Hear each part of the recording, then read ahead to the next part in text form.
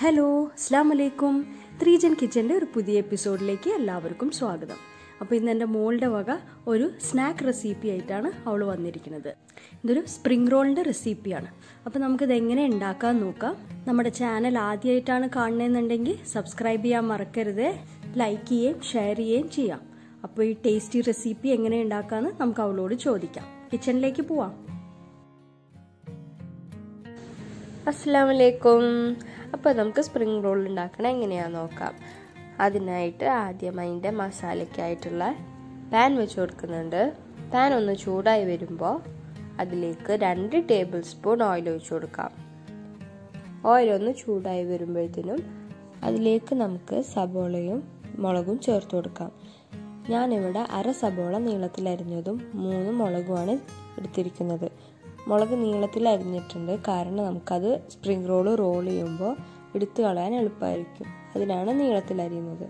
ഇനി നമുക്ക് നന്നായിട്ടൊന്ന് വഴറ്റി കൊടുക്കാം. നന്നായി മുരിയണമെന്നില്ല. അതിന്റെ ആ പച്ചമണം ഒന്ന് മാറണ വരെ വഴറ്റിയാൽ മതിയാകും. ഇപ്പം അതിന്റെ പച്ചമണം ഒന്ന് മാറി വന്നിട്ടുണ്ട്. നമുക്കിനി ഇതിലേക്ക് ചേർക്കേണ്ട പച്ചക്കറികൾ എന്താണെന്ന് നോക്കാം. ഞാനിവിടെ ബീൻസും ക്യാരറ്റും എടുത്തിട്ടുണ്ട്. ഒരു എട്ട് ബീൻസ് നീളത്തിലരിഞ്ഞതും രണ്ട് ഇടത്തരം ക്യാരറ്റ് നീളത്തിലരിഞ്ഞതുമാണ്. നീളത്തിലരിയുന്നതാണ് നല്ലത്. അതാണ് ഇതിന്റെ ഭംഗി. പിന്നെ ക്യാബേജും ക്യാപ്സിക്കവും ചേർത്ത് കൊടുക്കുന്നുണ്ട്. ഒരു അര ക്യാപ്സിക്കവും ഒരു പിടി ക്യാബേജുമാണ് ഞാൻ എടുത്തിരിക്കുന്നത്. ഇതൊന്ന് വഴഞ്ഞു വരുമ്പോൾ നമുക്ക് ഇതിലേക്ക് അരിഞ്ഞു വെച്ചിരുന്ന ക്യാരറ്റും ബീൻസും ചേർത്ത് കൊടുക്കാം. ഞാനിത് ആദ്യം ചേർക്കുന്നത് ഇതിന് വേവ് കൂടുതലായതുകൊണ്ടാണ്. ഇനി ഇത് നമുക്കൊന്ന് വഴറ്റി കൊടുക്കാം. നല്ല ഹൈ ഫ്ലെയിമിലിട്ട് ഞാൻ വഴറ്റുന്നത്. ഇതിന്റെ നീരിറങ്ങാതെ ശ്രദ്ധിക്കുക. അതിനാണ് ഹൈ ഫ്ലെയിമിലിടുന്നത് ഞാൻ ഒരു സ്പൂൺ കുരുമുളക് പൊടി ഇട്ട് കൊടുക്കുന്നുണ്ട്. ഇനി അതിലേക്ക് ആവശ്യത്തിന് ഉപ്പും ചേർത്ത് കൊടുക്കുന്നുണ്ട്. ഇനി ഇതൊന്ന് മിക്സ് ചെയ്ത് കൊടുക്കാം. ഇതിപ്പോൾ ഒരു പകുതി വഴഞ്ഞിട്ടുണ്ട്. നമുക്കിനി ഇതിലേക്ക് നേരത്തെ അരിഞ്ഞു മാറ്റി വെച്ചിരുന്ന ക്യാബേജും ക്യാപ്സിക്കും ചേർത്ത് കൊടുക്കാം. ഇതൊന്ന് മിക്സ് ആക്കിയതിന് ശേഷം ഒന്ന് വഴറ്റിയെടുക്കാം. അധികം വേവണമെന്നില്ല. ഒന്ന് കടിക്കണ പരുവാണ് ഇതിന്റെ ടേസ്റ്റ്. കുറച്ച് ഉപ്പ് കുറവായെന്ന് തോന്നിയതുകൊണ്ട് ഞാൻ കുറച്ചും കൂടെ ഉപ്പിട്ട് കൊടുത്തിട്ടുണ്ട്. ഇപ്പോൾ ഈ പച്ചക്കറികൾ പാകമായിട്ടുണ്ട് ഇനി നമുക്ക് ഇതിലേക്ക് ചിക്കൻ മിൻസ് ചെയ്തത് ചേർത്ത് കൊടുക്കാം. ഞാനിത് ഉപ്പും കുരുമുളകും ഇട്ട് വേവിച്ച് വെച്ചിരിക്കുന്നതാണ്. നമുക്കിത് കൈകൊണ്ട് പിച്ചെടുക്കുകയോ അല്ലെങ്കിൽ മിക്സിയിലിട്ട് മിൻസ് ചെയ്യുകയോ ചെയ്താൽ മതി. ഞാൻ അതിപ്പോൾ ഇതിലേക്ക് ചേർത്ത് കൊടുക്കുന്നുണ്ട്. ഇനി നമുക്ക് ഇതും പച്ചക്കറികളും കൂടെ നന്നായി യോജിപ്പിച്ച് കൊടുക്കാം. നന്നായി മിക്സ് ചെയ്തതിന് ശേഷം ഇതിലേക്ക് ഒരു ടേബിൾ സ്പൂൺ സോയാ സോസ് ഒഴിച്ചു കൊടുക്കുന്നുണ്ട്. നമ്മുടെ ഈ മസാലേന്റെ പ്രത്യേകത എന്താണെന്ന് വെച്ച് കഴിഞ്ഞാൽ നമ്മൾ ഇതിലേക്ക് വേറെ ഫ്ലേവേഴ്സ് ഒന്നും ചേർക്കുന്നില്ല. അതായത് ഇഞ്ചി വെളുത്തുള്ളി ഗരം മസാല ഇതൊന്നും ചേർക്കുന്നില്ല. എന്നാലും ഈ സ്പ്രിംഗ് റോളിന്റെ ഫില്ലിങ്സിന് നല്ല ടേസ്റ്റ് ആയിരിക്കും. ഇപ്പം നമ്മുടെ ഫില്ലിങ്സ് റെഡി ആയിട്ടുണ്ട്. ഇനി നമുക്ക് ഇതിന്റെ മുകളിലേക്ക് സെലറി ചോപ്പ് ചെയ്തത് ചേർത്ത് കൊടുക്കാം. സെലറി ചേർത്ത് കൊടുക്കുമ്പോൾ ഇതിന് നല്ലൊരു ടേസ്റ്റ് കിട്ടും. ഇനി നമുക്കിതൊന്ന് മിക്സ് ചെയ്യാം. ഇതാ ഇപ്പം നമ്മുടെ ഫില്ലിങ്സ് ഇവിടെ റെഡി ആയിട്ടുണ്ട്. ഇനി നമുക്ക് ഇതിന്റെ ഷീറ്റ് എങ്ങനെ ഉണ്ടാക്കണ്ടേ നോക്കാം. നമുക്ക് രണ്ട് രീതിയിൽ ഷീറ്റ് ഉണ്ടാക്കാം. ഒന്ന് മാവ് കുഴച്ച് പരത്തിയെടുക്കുന്നത് അല്ലെങ്കിൽ കലക്കി അപ്പം പോലെ ഉണ്ടാക്കുന്ന ഷീറ്റ് ഞാനിപ്പോൾ രണ്ടാമത്തെ രീതിയിലാണ് ചെയ്യുന്നത്. ഇതിന്റെ റേഷ്യോ എന്ന് പറയുന്നത് വൺ ഈസ് ടു ത്രീ ആണ്. ഒരു കപ്പ് മൈദയ്ക്ക് മൂന്ന് കപ്പ് കോൺഫ്ലോർ എന്നാണ് കണക്ക്. അപ്പം ഞാനിവിടെ ഒരു കാൽ കപ്പ് മൈദ എടുത്തിട്ടുണ്ട്. കാൽ കപ്പ് ഞാൻ ഇതിലേക്ക് ഇടുന്നുണ്ട്.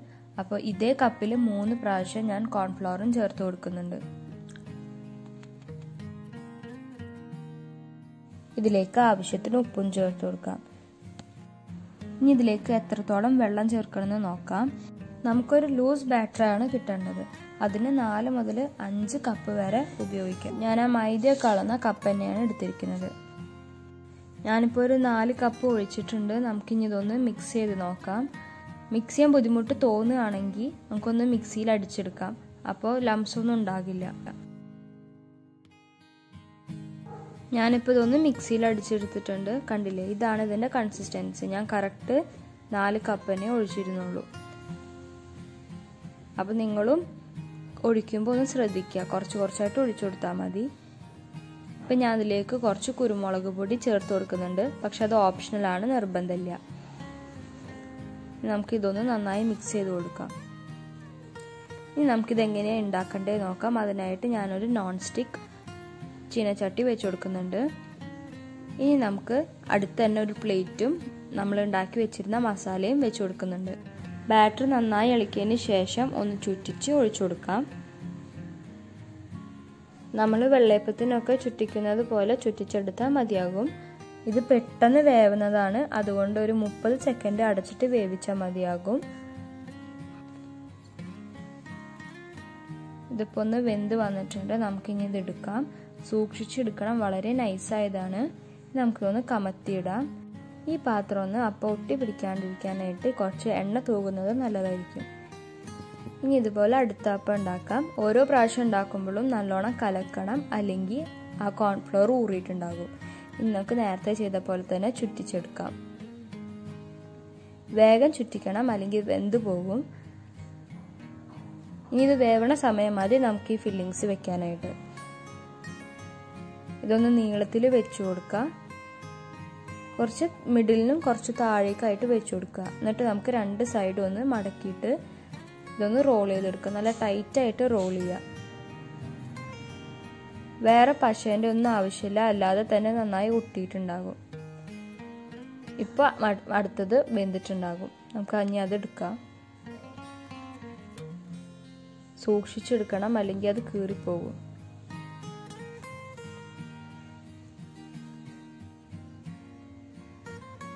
ഇനി ഈ സമയം നമുക്ക് അടുത്തത് നേരത്തെ ചെയ്ത പോലെ തന്നെ ഒഴിച്ചു കൊടുക്കാം.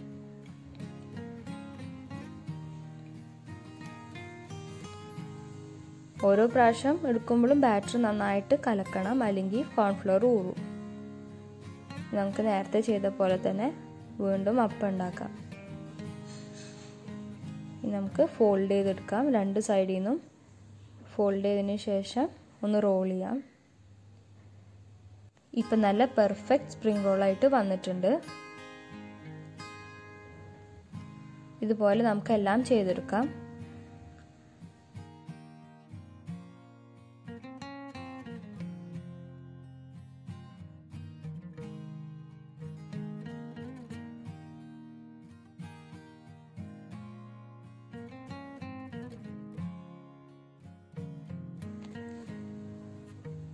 അങ്ങനെ ഇപ്പോൾ നമ്മളെല്ലാം ചെയ്തെടുത്തിട്ടുണ്ട്. നമ്മളിപ്പോൾ നേരത്തെ ഉണ്ടാക്കിയ ബാറ്റർ വെച്ച് നമുക്കൊരു പതിനഞ്ച് പതിനാറോളം ഉണ്ടാക്കാം.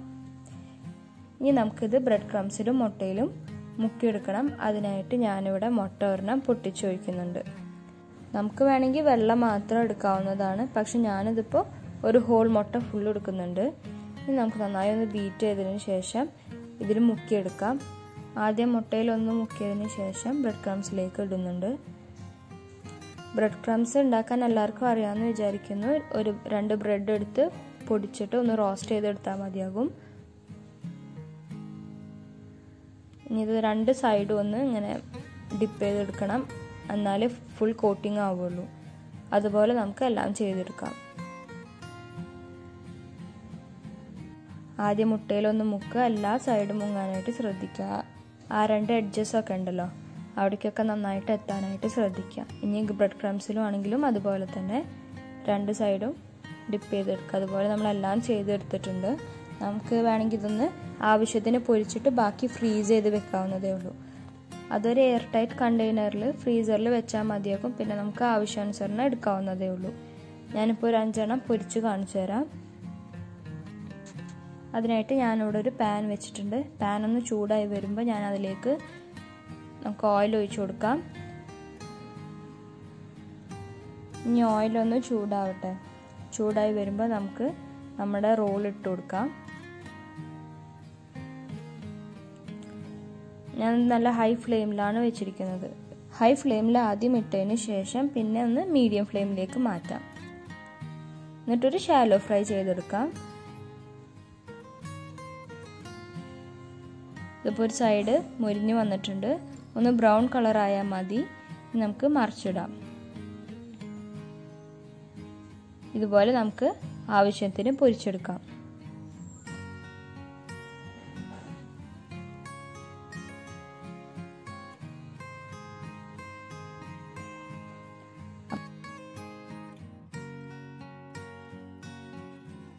അപ്പോൾ നമ്മുടെ ക്രഞ്ചിയായ സ്പ്രിംഗ് റോൾ ഞാനിപ്പോൾ പൊരിച്ചെടുത്തിട്ടുണ്ട്. ഞാനതൊന്ന് കാണിച്ചു തരാം. ഇതുപോലെ ഇരിക്കും പൊരിച്ചു കഴിഞ്ഞാൽ. നല്ല ടേസ്റ്റിയാണ് കുട്ടികൾക്കൊക്കെ നല്ല ഇഷ്ടപ്പെടും. ഇവിടെ എല്ലാവർക്കും നല്ല ഇഷ്ടമുള്ള ഒരു സ്നാക്കാണിത് നമുക്കിതൊരു നോമ്പ് തുറ വിഭവമായിട്ടോ അല്ലെങ്കിൽ ഫംഗ്ഷൻ ഒരു സ്റ്റാർട്ടറായിട്ടോ ഉപയോഗിക്കാവുന്നതാണ്. അപ്പോൾ നിങ്ങൾ ഈ വിഭവം ഒരു പ്രാവശ്യമെങ്കിലും ഒന്ന് ട്രൈ ചെയ്ത് നോക്കുക. കുട്ടികൾക്കൊക്കെ നല്ല ഇഷ്ടപ്പെടും. അപ്പോൾ നിങ്ങൾക്ക് ഈ വീഡിയോ ഇഷ്ടപ്പെട്ടെങ്കിൽ ലൈക്ക് ചെയ്യുക ഷെയർ ചെയ്യുക സബ്സ്ക്രൈബ് ചെയ്യുക. നിങ്ങളുടെ ഫീഡ്ബാക്സൊക്കെ കമന്റ് ബോക്സിൽ അറിയിക്കുക. അപ്പോൾ ഒരു പുതിയ വിഭവമായി വരുന്നവരേക്കും അസ്സാം വലൈക്കും